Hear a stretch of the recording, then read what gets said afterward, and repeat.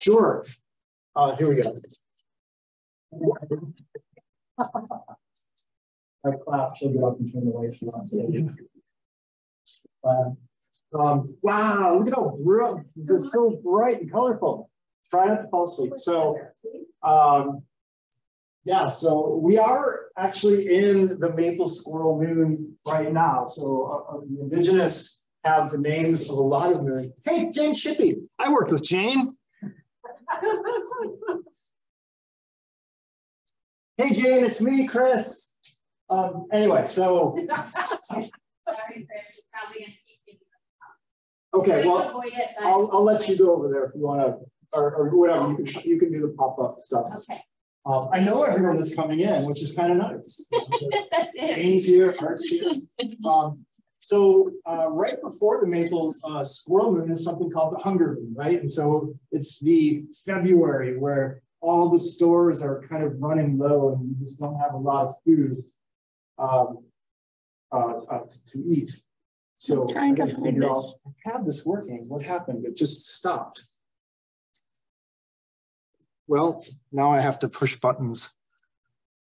We oh, I think because we messed up the presentation. Which one do you want me to press? Well, I, I don't know.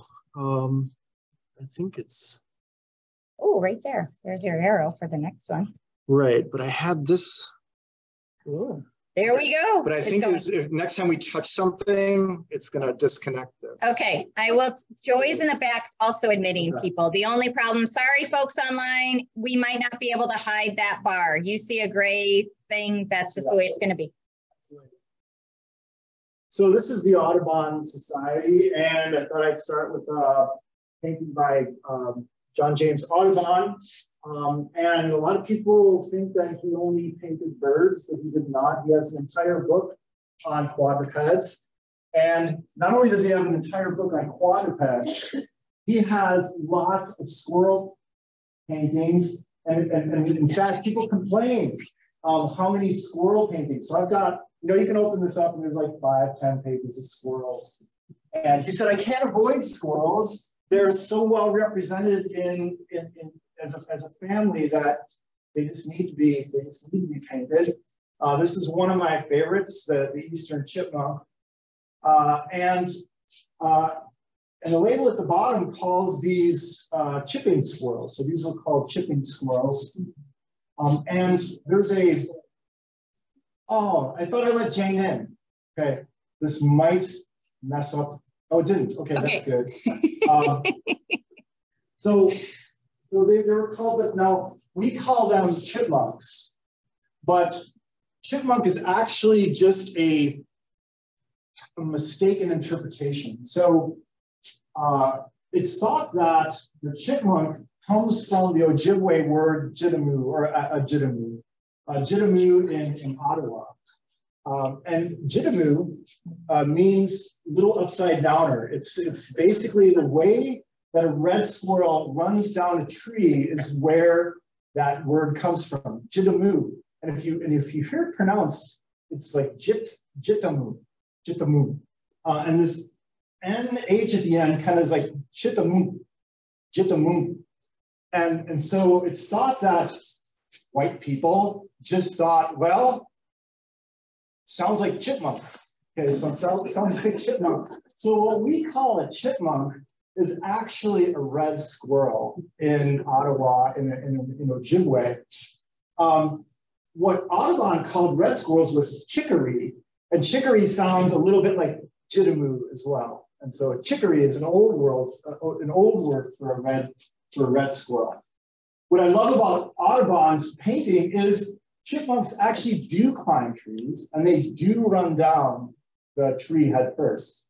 And so it's not totally off base that you have a little upside downer in the chipmunk, but really every time I see a chipmunk, I think stupid white person that just got the name wrong.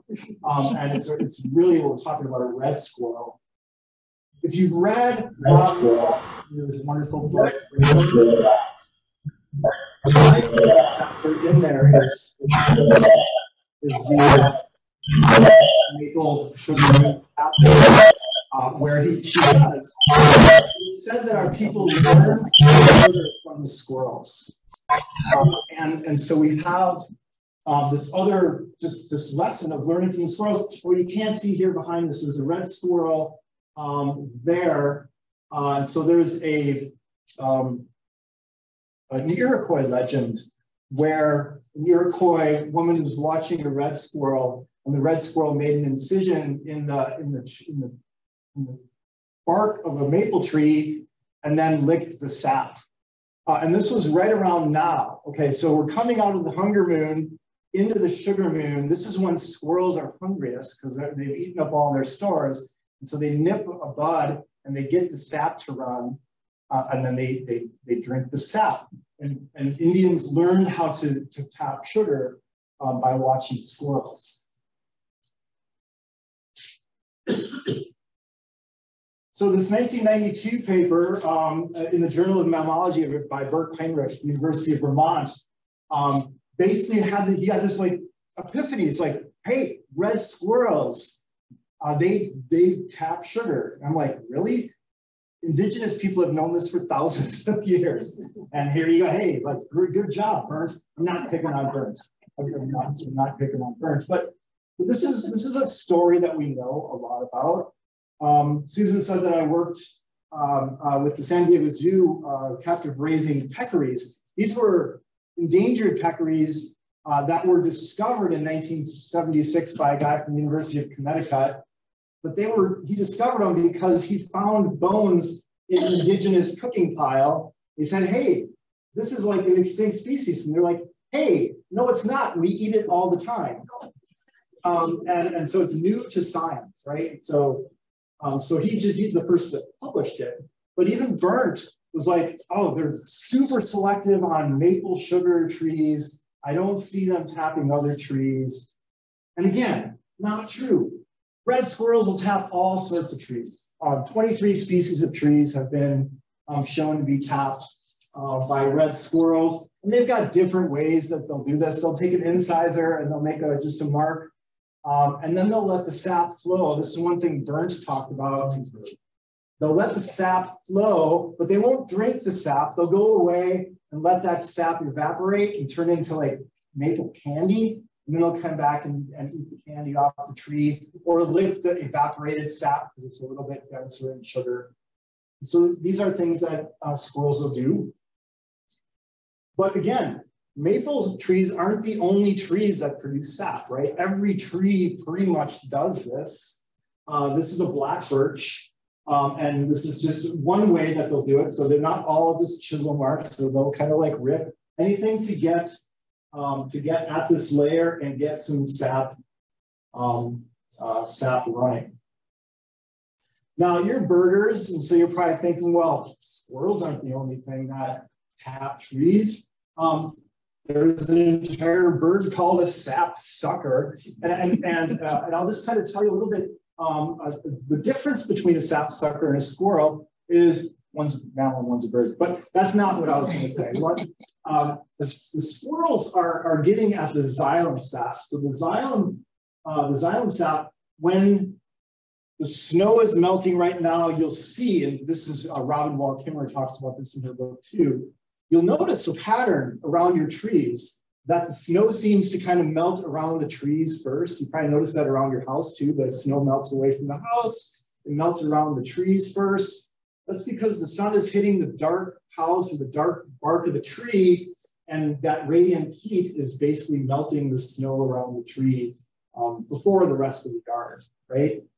Um, that's going to get the, um, uh, the, the water is going to become available to the tree, and, and the, it's going to be coming up to feed those buds. So there's sugar that's stored in the roots.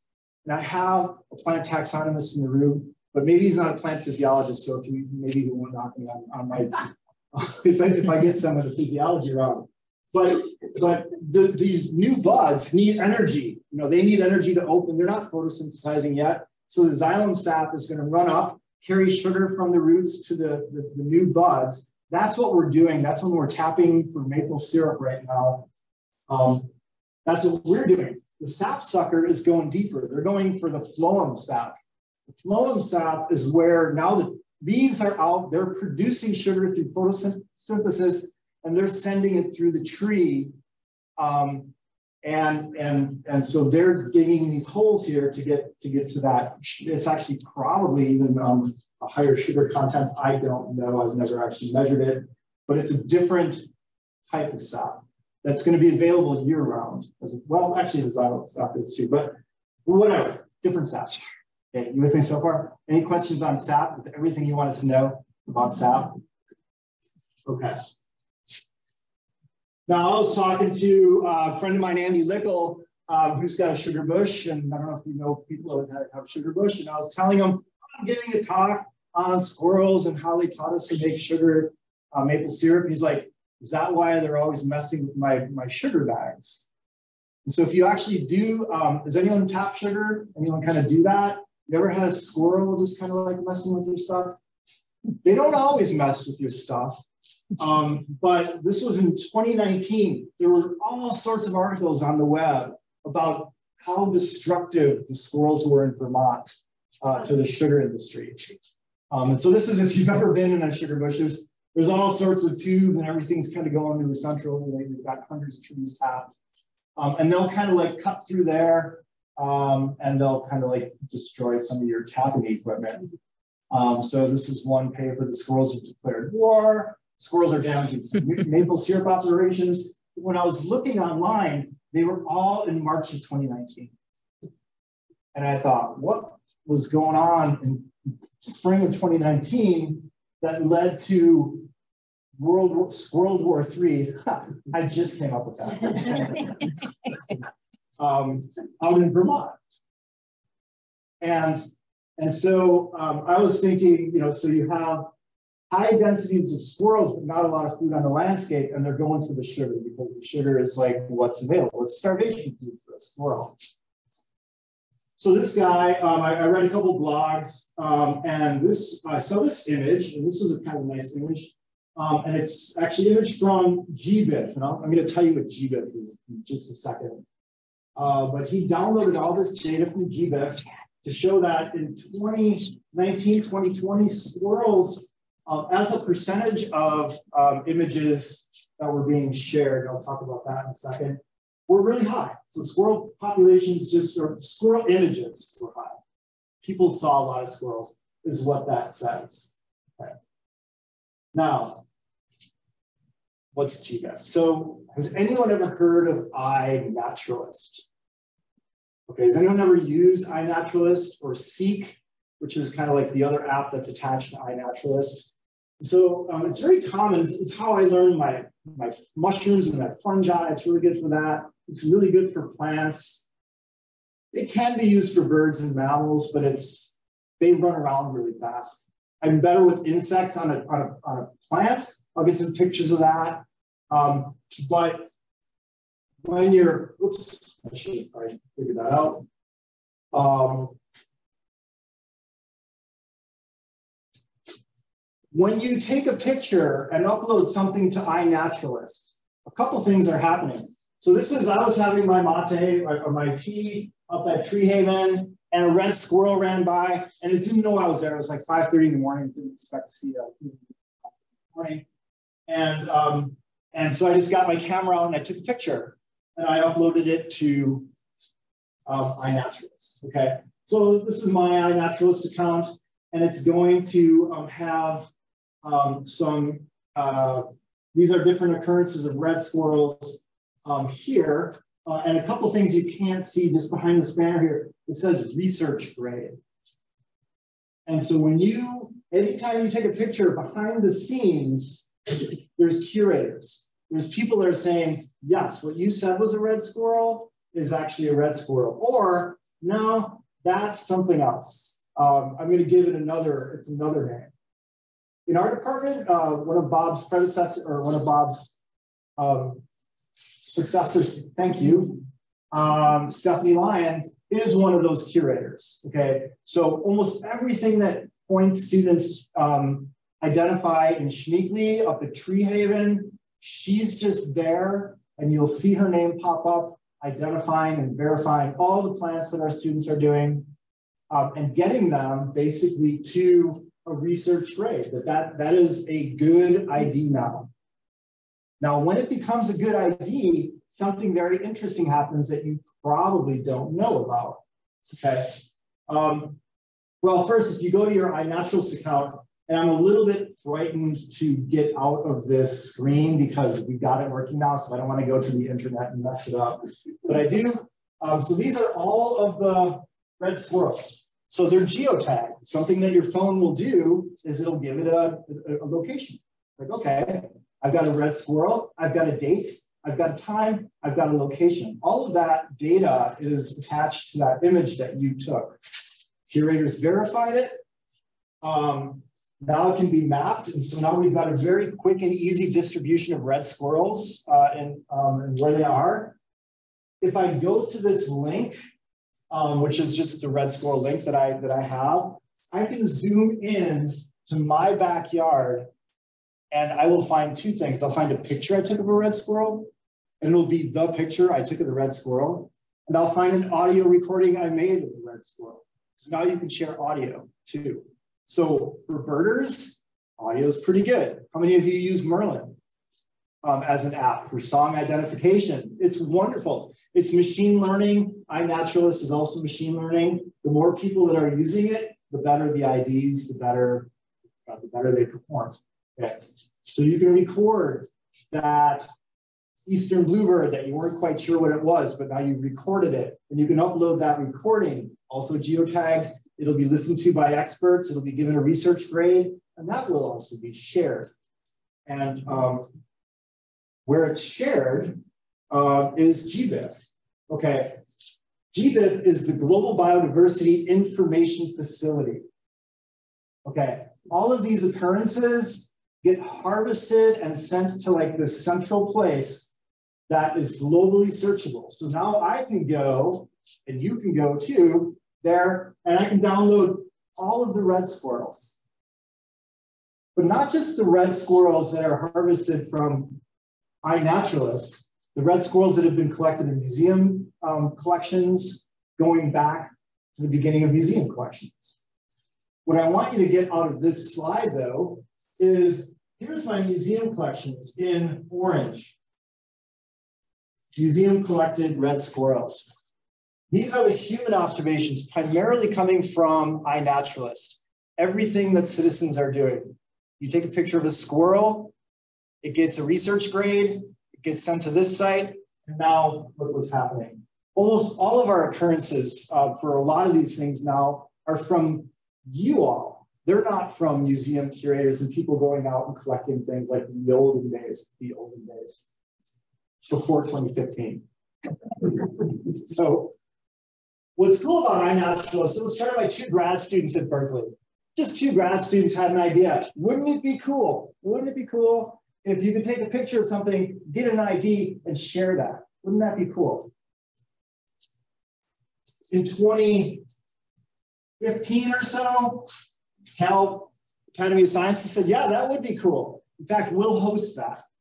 We'll host it. And then in 2017, National Geographic said, that's really cool. We're going to support that.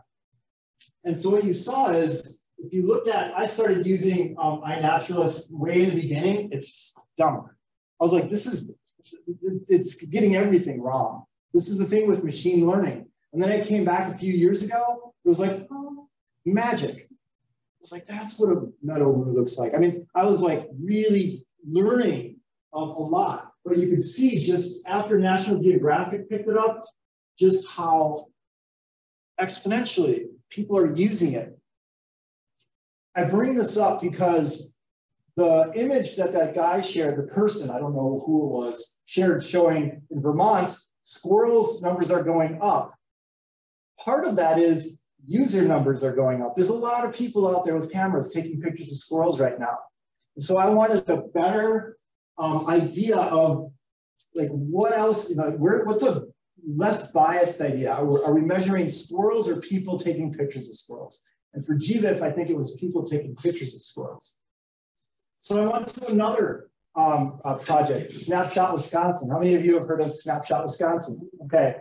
So Snapshot Wisconsin Um, there's 2,000 people around the state that have cam that host cameras. I host a camera in Sheekley. This is from Sheekley.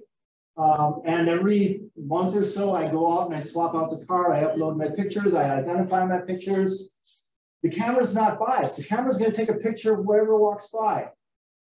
Um, in this case, a squirrel. Okay. Um, and so now I can go to um, my camera because I, have the data from my camera. Um, and I can, okay, I put my camera out in 2018. So that's like, uh, it was May of 2018. Um, and these are just my squirrels. So I can look at, okay, how many squirrel pictures do I have from Snapshot Wisconsin? And she, first of all, during the pandemic, I kind of got a little bit antsy and bored. So I learned how to use Photoshop. Um, and so this is just me with Photoshop with all these squirrels walking around. Um, it's just a, a selfie from the, my camera. Because the camera's stationary, um, it's, you're gonna have the same view, different seasons, so I can play around. And I think I got a dozen squirrels. They're obviously not all there at the same time. Well, it could be, but that's terrifying. terrifying to swap a few squirrels like that. But you can see um, just 3,000, I 3,000 squirrel images in, in 2019. Um, and then it went down to a 1,000. And the last couple years, I've had less than 100. I mean, just like not a lot of squirrels. Okay, so it's just a, it's a proxy for squirrel activity. It's a proxy for how many squirrels are out there on the landscape. You can go to Snapshot Wisconsin, type in Snapshot Wisconsin um, dashboard. Um, and again, I'm reluctant. Maybe I'll go back and do that after I get through this just to see if it works. But it'll give you all sorts of cool stuff on squirrels and bears and coyotes and, and all that from all the cameras around the state. Um, what I appreciate about iNaturalist, what I appreciate about Snapshot Wisconsin and GBIF, it's open data. It's like people aren't protecting their data, they're sharing their data. They want people to use their data. Okay, and so as a scientist, that's what I want. I, I don't want to protect my data. I want data to be used. Um, I'll give you, um, all right, so basically what, what was happening, super dark here, um, summer 2019 uh, was a mega mast year. You can look this up. So, uh, so it's a mega mast year. If you have oak trees, you're probably being kept up um, because oaks were just crashing onto your, or, or, acorns were crashing onto your roof and gutters all night.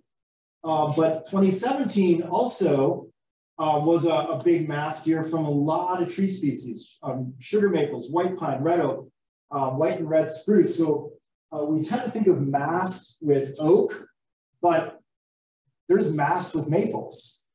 How many of you have a maple tree and all those little helicopters? You can collect in different, just a simple experiment that I haven't done yet, but I'm going to start. How many five gallon buckets of, of little helicopters and stems in my composting? Is it a half a bucket? Is it four buckets? And then I'll know, is it a mast year or not? Because if the maples are masting, I can start to think maybe the oaks are going to be masting. My spruce trees are going to be masting. My pine trees. Um, and that's a lot of food on the landscape. Okay. And so this was kind of a perfect storm of 2017, lots of squirrels, and then some mild winters. And so all the squirrels didn't die. And in spring of 2019, there wasn't a lot of food, but there were a lot of squirrels, and they started hitting the sugars, sugar bushes. Um, so yeah, uh, but yeah, we're not in a super high squirrel thing. So then I started, then I started getting in a little bit of a data tangent. I apologize. You asked me to talk, and then I got distracted. Um, so I put this talk together, and it's got a lot of kind of data in it. How many of you have heard of something called NEON? It's the National Ecological Observation Network. It's congressional, it's, it's funded for 30 years. There's 81 field sites across the country, including Hawaii. Um, we have one about an hour north of here at Treehaven, uh, in, just outside of Rhineland or Tomahawk area. So um, again, uh, their whole thing is open data. So you, we've got crews out there all summer. A lot of our students get hired on to Neon crews. Uh, they're doing small mammal stuff. They're doing ticks. They're doing plants. They're doing all sorts of stuff. There's towers. Um, there's towers collecting climate data. Um, and so I went in to the NEON Open Data Portal, uh, which is a little bit trickier. And I pulled data from three field stations. Uh, this is Bartlett Field Station in New Hampshire, because I wanted to know what's going on. That's the closest one to Vermont. They don't have one in Vermont.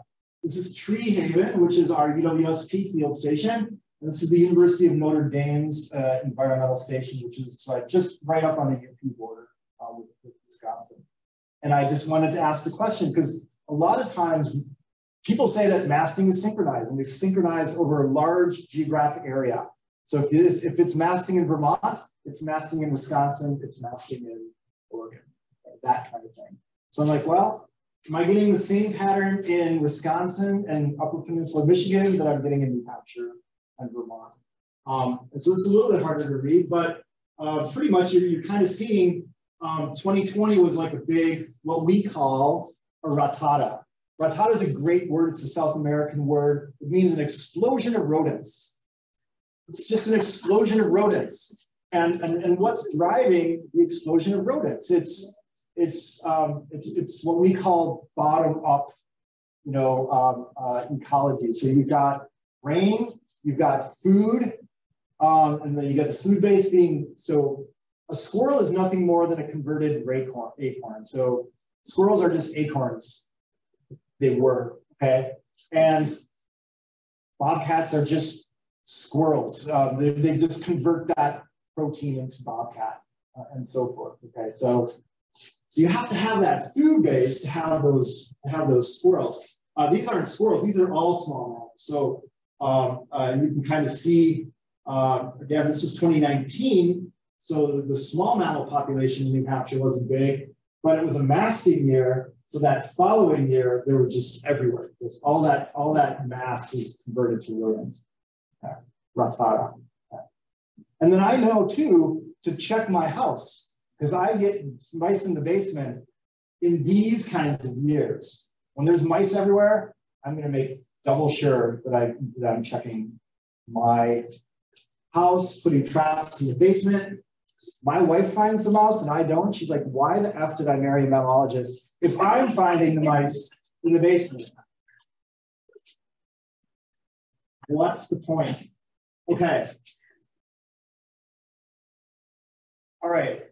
So I was I was at a I was at say it was called first school. It was a it was a, um, a trapper education uh, workshop that the DNR put on for my students over at SLEDS this weekend. And there was a guy from the DNR that was giving a talk on um, wildlife diseases, and he was kind of he showed a picture. He's like, uh, that he thought he's like, this is an abnormal behavior. There's clearly something wrong. This this animal is sick. And so he shows this slide, and he's like, what's what's up with this squirrel? And I said, it's splooting. How many of you have ever seen a squirrel sploot? Why do squirrels sploot? What? It's um, the, the, the funniest sploot that I saw. First of all, the word itself, really, really sploot. It's a combination of splat and cute. there was an article in the Washington Post on just the word sploot. So, um, but it is cute, and it's got a very, very specific um, uh, function I was at a conference in, um, I think it was Manhattan, Kansas. It's the one with the prairie. It's the really hot one. I don't know. There's only two towns in Kansas that I really know about. Lawrence and Manhattan. So is Manhattan. Okay. And so the Konza prairies out there. Uh, it was 110 degrees. So we had some some genius thought, hey, let's have our mammal conference in the middle of Kansas in the end of June. Okay, great. Uh, and, and so I'm on the campus at Kansas State and um, I'm walking to one of the workshops, I'm just dripping. And this, this uh, fox squirrel, that campus is all fox squirrels. Fox squirrel just runs past me in the into the shade and jumps on a concrete curb and just hugs it. And I could hear it. I could hear it say, thank you, Jesus. just, it was just it, it's it's a behavior called heat dumping. It's it's they, they they hug a cool surface to just dissipate, just dissipate heat. So you don't see splooting as much in Wisconsin, uh, but when they're hugging a branch, when they're hugging a cool rock, when they're hugging the curb and the shade, that's what they're doing. They're just dissipating heat. Okay. Um, but again, I love the I love the word. And I kind of I felt I'm like, I didn't want to call the DNR guy out. I'm like, that's a that's a very normal behavior. It's not sick. It's not gonna die. It's just splooting. so um, squirrels. So I use squirrels in, uh, in, in, the classroom, um, as, as Susan said, to basically teach my students job readiness skills. We actually have a paper coming out um, in the Journal of Mammalogy on, on just that. Um, but we developed, my colleagues and I around the country developed a number of modules, a number of squirrel behavior things that you can do with your students in the classroom. This one uh, uses uh, um, something called giving up density, and I'll explain that a little bit, um, well, right now. But uh, giving up density um, gets into something called optimal foraging. It's like how long, um, how long is a squirrel going to um, spend foraging for seeds on a patch before it gives up? Before it says, that next seed is just not worth it to me. Um, it's it's um, and so the trade-off is between foraging and vigilance, because the squirrel's in danger of being eaten, right? So you've got predators on the landscape, and so when its head is down foraging, its head is not up looking. Now squirrels actually do something called alert foraging. You've ever watched a squirrel eat? How does it eat? It doesn't eat with its head down. It picks up the nut, it sits there on its hunches, and it kind of nibbles and eats and looks around. So it kind of does both. It's called, we, we called it alert foraging because it's, um, it's kind of a unique squirrely thing to do. But what we did, what we did, and this, this comes from some work by a guy named um, Joel Brown uh, at the University of Illinois Chicago, came up with this really cool technique. It's like you can measure um, something in what's called the landscape of fear. If you've got predators on the landscape, it changes the behavior of the prey. The classic example that you've probably heard about is wolves in Yellowstone. When they reintroduced wolves into Yellowstone, the wolves would eat, eat some of the elk, but more importantly, they changed the behavior of the elk. The elk no longer stayed in the valleys, they moved up in, into the woods, and it allowed the valleys and the aspen to come back. And you, you may have heard this story. But it wasn't the direct predation on the elk that was the, the interesting, the most interesting thing. It was the way that the elk changed their behavior in response to the predator on the landscape. And that can be measured. Okay. And, and so this is on a smaller scale. We don't have, we have wolves and elk, but it's not a practical field experiment for my students to do for a semester. Let's go out and look at wolves and elk. We can look at seeds and squirrels though. Plenty of squirrels um, on campus, plenty of squirrels in town. And that's true on college campuses around the country. And so we just said, hey, Let's get college students from around the country to do a single experiment.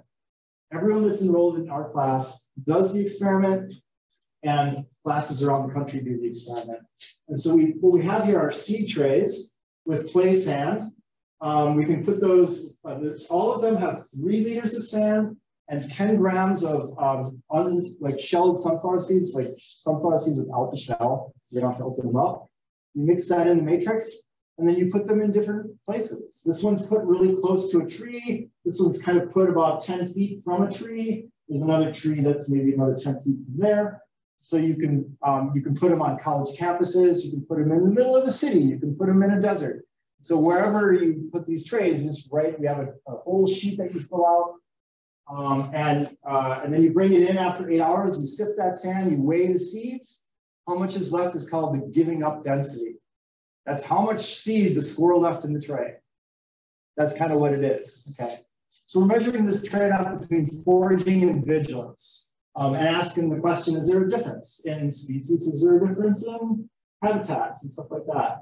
Um, so right now we've got about 14 institutions, 1,200 trays, six squirrel species, various habitats. We published this in um, uh, the uh, 2020 is when we got these published, right early on. Then the pandemic hit. And right away, people were like, you know what? This works really well remotely. We had two modules that just were designed for remote learning that students anywhere in the country didn't have to be in a university. They could go out and observe squirrels. They could go out and measure this. And one of our modules, not this one, um, went from like 10 institutions to 27 institutions in one semester because every institution was like, we can do this remotely. They just have to go out and look at squirrels, enter the data, we'll download all the data, and then we can do um, remote presentations, and it was really good. So the pandemic kind of helped our data set um, immensely. Uh, but here's our pointer students, and then we've got um, uh, a bunch from uh, Louisiana State. Um, what I love about this, a lot of community colleges can get involved in this. They, they might not have a lot of resources, but they can do our modules and share our data. Um, it's very collaborative, which, which is the other thing um, I was looking at. I'll just, I won't show so much of this data, um, but this is just, I was playing around with the new stats program. All this is showing is if there's 10 grams left in the tray and I started with 10 grams, that just means the squirrel either didn't discover the tray or just took a couple like nibbles and ran away. Okay. And so most of the trays don't have, you know, just a little bit eaten. Okay. Uh, but then there's some trays, everything was eaten. You get there, you sift it, and there's not a single seed left. They ate everything. Okay. So, but you get this a very similar pattern. Most, a lot of gray squirrels, uh, not a lot of California ground squirrels. That's kind of what that's showing. Uh, we're just picking up some Western grays now. Uh, some of the colleges, there's um, Oregon. Um, what I also learned is there's colleges in Oregon, like Gonzaga, um, which is a three seed in the NCAA tournament. I don't know if you guys like basketball. Um, what is the two seed? Marquette. My wife went. My wife went to Marquette, so we're, we're, we're following Marquette. Um, but Gonzaga has a bunch of gray squirrels. It's like that's like out west. What are they doing with eastern gray squirrels uh, in, in the western state? And so there's some weird stuff going on uh, with eastern and western gray squirrels. What do we have here? We have eastern gray squirrels. Almost everything you see running around outside right now that's a tree squirrel is a an eastern gray squirrel. What's the difference? One's in the east. um, I but morphological or shape wise, I don't know. Who does though? Yeah. The black squirrel is, a, yeah, it's a variant of the eastern gray squirrel. Now we have, interestingly, we have black morphs of eastern chipmunks. So I've got some. They're really cool. It's like a chipmunk that's like completely black. And the ones that I have have like a white patch, like a Wolverine on the chest. I'm like, that is so cool. Um, but someone gave them to me because they don't like chipmunks. So I'm like, I'll take those. Those are great. Um, fox squirrels are like larger and, and, redder. We have them around here, but for every 100 eastern gray squirrels, I'd like to see one fox squirrel. So that um, gray squirrels here are, are, king. And then of course we have red squirrels. Um, so in my backyard, I live right by the university, just about a, a mile from here. I have eastern chipmunks, eastern gray squirrels. I have red squirrels. I have um, woodchuck that like burrows under my you call that? Compost seed. I have one other one. Five. Oh, my favorite. 13 line ground squirrels. Oh my gosh, they're so adorable. Okay. because they're like families. They're little families that live in your lawn. And and and you'll see grandma, and it's grandma. I guarantee it's grandma. She'll sit up on her little hind legs when you go down and drop something in the compost pile. She'll start screaming like there he is, there he is. And like everything runs away. You know, grandma just watching over the fan, you know, and um, and there's good data to support that it's grandma. I won't get into why that is. Is yeah. a flying squirrel a squirrel? Totally squirrel. The one that people didn't think was a squirrel was a woodchuck. So the woodchuck is actually our largest squirrel. It's a ground squirrel. Okay. Um, but yes, flying squirrel. And people thought woodchucks were gophers. Completely not true. So gophers are gophers different family, which woodchucks are squirrels. Okay. Yeah. Well, we call them, we, that's one of these weird, weird things with common names. We call anything that goes in the ground a gopher. Um, and that's just kind of a, just a misnomer, okay? So we have gophers, that's the family Geomyidae. Our plains pocket gopher is kind of in the western part of the state. Totally not a squirrel. It's more closely related to the beavers and the kangaroo rats than it is the squirrels. So it's just a, a weird thing, but they're fossorial, right? They dig underground and that's kind of where they live. Uh, so we call a lot of those things gophers uh, because they're gophery in the way that they dig. Okay. But um, but good. That's that's a very common um, thing that people call them. So anyway, 13 million ground squirrels. So I was interested not just in the distribution, but are, is there actually a statistical variation? And I'm not. This is not about data, but we can kind of see um, that whatever this is, uh, red squirrels. Okay. If you know your red squirrels, red squirrels are fearless. Red squirrels, they're going to run up to you. They're if you're if you're near their tree, they're to let you know it. If you're in their in their tree, if you're a hunter, and you're in a tree stand, they'll let everything know it. He's right here. She's right here. I've had students say that a red squirrel came down and bit him on the top of the head. Get out of my tree. Okay. So uh, this is kind of, in. you know, they're, they're, they, this tells me they're a little bit more fearless, right? They're, um, they're going to stay on that path a little bit longer than your other squirrels. Um, and um, just, uh, that's, that's um, what I mean by landscape of fear. Um, these California ground squirrels, super skittish. You know, they're like, they're going to go out of their burrow, take a few nibbles, run back in. Go out of their burrow, take a few nibbles, run back in. So um, ground squirrel. Um, and, and, that's kind of what this data is showing. Um, and then uh, you can't see here, so this is covered. So this is like, um, if I put that tray right next to the tree or right next to a burrow, where they can just come down the tree and the food's right there, that's like um, close to cover, they're going to stay on that tray a lot longer. It's like, okay, I can escape. My burrow's right there. Okay, if something comes for me, I can get away. If there's no cover, or the cover is kind of far, they're not going to stay on that tray that long. It's a little bit too risky for them to be exposed for a long period of time. Okay, and so that's what this data is showing. But again, what I love about the data isn't the data itself, it's that the data were collected by undergraduate students around the entire country over the last three years, even during the pandemic. And that we're all sharing that data. Um, and it'll probably end up in some publications. Okay. So we're toward the end here. I don't know if this is going to work, but you may have seen um, uh, all sorts of really cool, elaborate things you can do for squirrels. A lot of people have just been like, I'm going to try to figure out a way to keep squirrels on my, out of my bird feeders. And then some people are like, are like, you know what? Squirrels are here. Let's embrace the squirrels and, and, and build Fort Nuts. Um, and uh, and one of my favorites that, that I kind of want to make a few of these, these cute little squirrel picnic tables are just like adorable. You can buy them on Etsy, but I'd rather just try to make one. You put it on a tree, um, put a trail camera up there and get all sorts of your cute little stuff. um, you may have seen some of these. I'll, I'll, I'll show one. There was a, uh, a documentary, uh, uh, a NOVA documentary on squirrels. I remember what it's called. Um, anyway, so this is just a segment from that documentary. We're going to try to see if this works. Um, it might be a little bit slow. But way of getting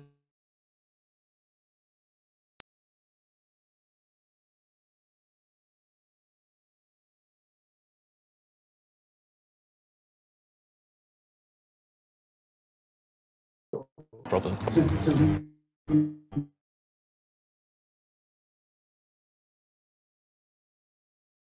by their desire for none. It's like so cool. But again, they find persistence, memory, not just to remember what the seeds are.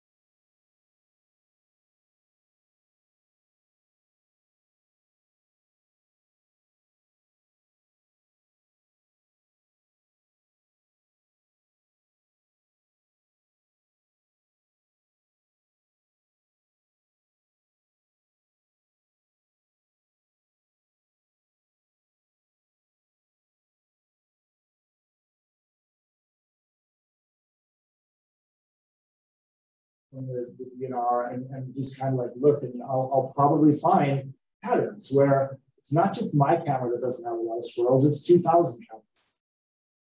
They're all in yard. They're all, right? I was gonna say. They're all coming to my house. Yes. It's territorial. Um, Yes. yeah, yeah, that's, um, some more than, you know. What, what I, what I love watching just off my back window is the red squirrels and how territorial they are. Now see my gray squirrels come out of their little tree, cross my yard, and then end up at the Norway spruce that I have, my rock queue over there, which is where my red squirrels um, are. And then I'll see three gray squirrels just shoot back across the yard with a little red squirrel just saying, get out. out. It's smarter. So, uh, yeah, they are, they are. territorial. So, it's a good question. Yeah. What if you relocate them?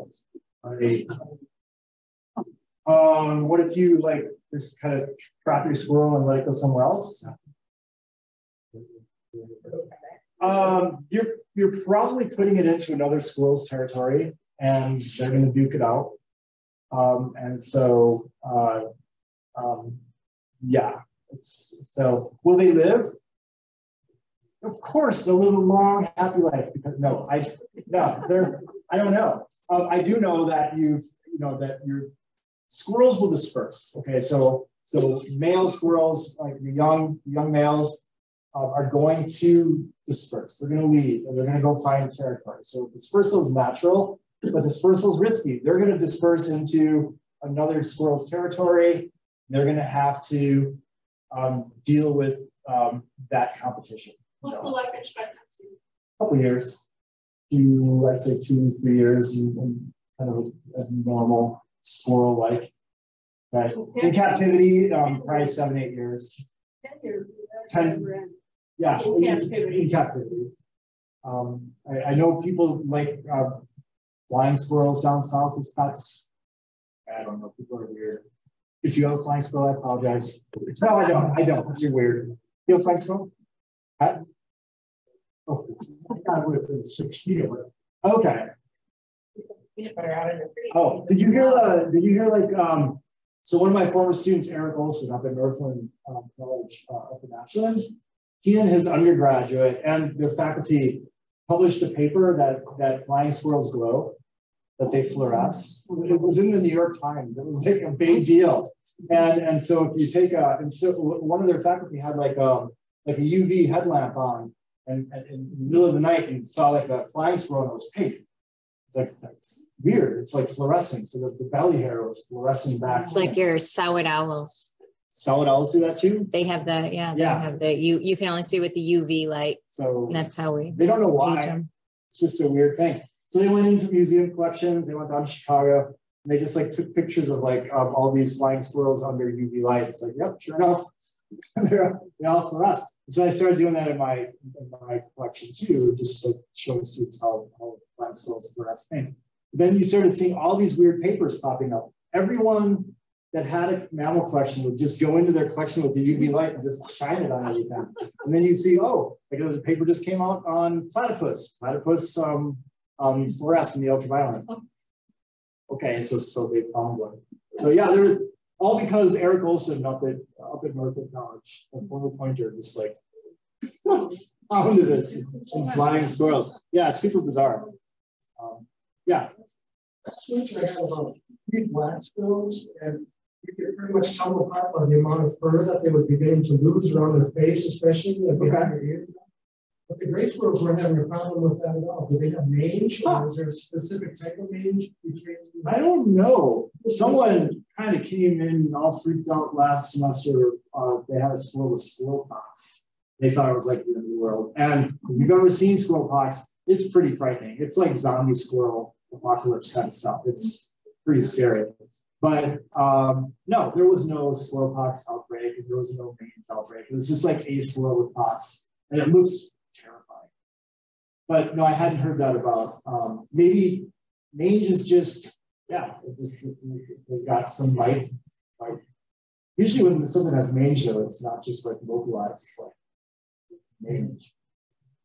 So yeah, um, and, and, and people have because squirrels are so visible and they're active during the day, we have these kinds of uh, observations with squirrels where might not. So, yeah, that's that's interesting. Do they hibernate like a couple days and then go out and forage? And how, how does that? Because I don't see them out all the time. Um, they're uh, tree squirrels. Don't, so certainly the ground squirrels hibernate, um, and and so those chipmunks they seem to disappear in October, and then there's contests. You know, my my friends down at the Urban Ecology Center, and most ecology centers I know or nature centers have their first chipmunk of the year. A lot of people, and I don't understand you know, this thing that people like are looking for the first robin of the year, like that's a thing. I'm just kidding. That is totally a thing, right? So, um, so we're always looking for that first robin. That's that's a sign of spring. For mammalogists, it's the chipmunks and the, and the 13 line ground squirrels. I'm looking for the ground squirrels coming out of their burrows, and then my heart just sinks. Oh, they're back. They're back. But so they're gonna they're gonna hibernate. Um, Gray squirrels, they, they've got their big leaf nests up in the oak trees, um, and they can, I, I don't call it hibernating, they'll just hunker down. If it's not, you know, if it's, if they're to lose more energy foraging, they're just to stay put. You know, so if it's warmer, I remember a warm day in February, I had five of them um, come out of that nest, three siblings, two blacks. Um, but they were just like all chasing around, the red squirrels chasing them out of the trees. And and I was just like, I, I didn't want to go get my camera. I'm like, this is just a school party back here. So, so they weren't losing all that energy. They were just playing. Made it look to me like playing. And they're just like, I've been balled up in this leaf nest for three days. I'm gonna go off and run around the yard and get, see if I can beat that red squirrel finally. But yeah, so um, yeah, they they'll just hunker down. Um, mammals have a lot of cool. I think of bats. They'll just shut down a day you know, you'll see it on the side of a, a brick wall and students will think it's dead and died there. I'm like, no, it's just literally chilling. It's just, just chilling on the wall, drops its body temperature for the day, just chose a poor spot to do it where it's visible. You know, I can literally just uh, put a glove on, I can pick it off the wall, go put it on a tree where it's safe, which is what I'll do. Um, and then I check in the next day and it's gone. It wakes up, it's like this isn't where I landed. It's like, okay. it's like, oh, the night I've had. Yeah. So, anyway, any other questions? I, I, this is you. You guys ask so many more questions than my students do. So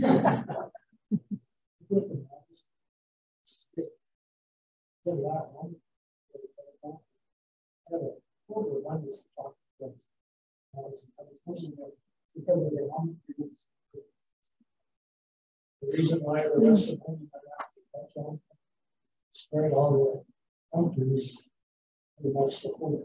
You can see themselves. So they were, um, so I grew up in Milwaukee at the same time. So, um, and those neighborhoods with all those elm, they were all squirrels. Uh, and, uh, and so I grew up, and they were all named. Chipper was my favorite. Chipper would come out, my dad made the mistake of feeding Chipper. And so he came out of the we came out to go to work one day, and Chipper just ran right across the street, right up my dad's pant leg, um, just just running up. It's like, where's the food? My dad's like, what the hell? He's like, well, you did this to yourself, Dad. Um, by, by, by feeding Chipper. Um, but yeah, you could you had all those tame urban squirrels as kids. You could you could talk to them, you could call them in, you could pretty much feed them out of your hand. Um, and, and, I do remember as a kid there being just lots of gray squirrels in the neighborhood lots and lots of Dutch elm, or not lots of American elm. Um, so yeah, and I don't know. I hadn't heard that Madison was a fox squirrel town. Yeah. Big orange squirrels. Yeah. Is that still true? Is, is Madison still more fox squirrel than red squirrel or gray squirrel? I'll have to, I'll have to pay attention next time I'm down there. How many sets of babies do they have in a year? Oh, good question. I don't know. Maybe maybe in good years they'll have two litters. Bad years they'll have one. But you would think, because I'm a professional mammalogist, that I would know the answer to that question. Um, and, uh, and, I will just kind of stick with my answer of one or two. So do they have us in the spring? When do they have their babies? Um, Yeah, I think they'll, like if they're, September. Seeing them now. yeah, they'll, they'll, um, right around, yeah, May. April, May, um, just like what it gives you. What's the gestation period? And my goodness, you got three, four maybe, ish. Um, probably, I, I'm, I'm gonna guess, they'd probably be in the body size about, uh, eight to twelve week gestation. Um, but I could, That up, I was, And they're nursed, right? oh yeah, we're mammals, so I, I could certainly answer that question.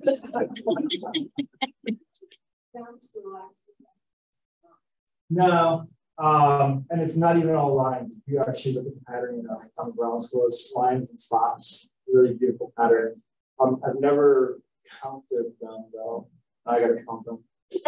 Starting, not only do you ask more questions, you ask harder questions. So, yeah. Thirteen lines, I, I feel, I think it's a privilege to have 13 lines. It means I'm doing something with my on. Um, know, uh, those of us that do no mow May, um, it's nice because you don't have to in May. Um, but you know, just the, the chemical free lawns, that squirrel in my in my lawn tells me that this is a nice, happy place to be. You know, it's not a chem lawn. I none of my neighbors that have chem lawns have, have 13 lines. And maybe you have a chem lawn and have 13 lines, so I, I just don't know.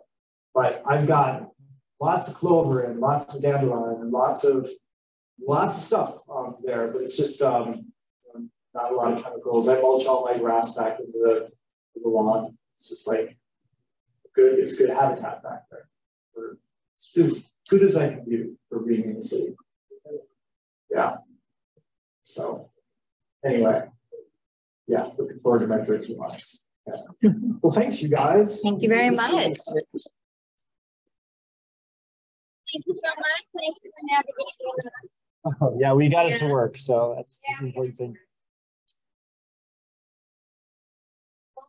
Our next program is, well, we have our field trip coming up, so online for that. It does, help to sign up for those because I do send that to the field trip. So they can kind of expect to not leave too early if they know there's more people coming. It's kind of Good to get that heads up, I'll send that back to them. You can sign up online, um, or you can contact the tour leaders directly, so. And then our next month's speaker is John Munson talking about South Africa. So April 19th at 7 p.m. Thank you all so much for coming tonight. Have a good night.